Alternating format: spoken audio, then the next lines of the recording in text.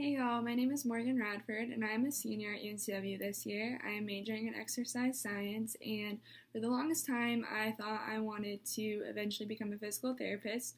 Around this time last year I changed my mind because I had this whole layout of going straight to graduate school and becoming a physical therapist and I started shadowing quite a few different physical therapists in Wilmington and back home for months at a time and my heart just wasn't in it and I realized that that career is not what I feel like I'm meant to do for the rest of my life. So I actually went to South Africa this past summer for two months and participated in a medical internship where I shadowed doctors and helped with data collection.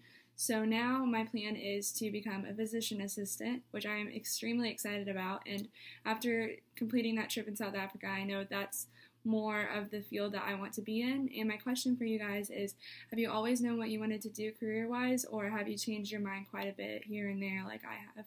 I look forward to meeting you guys.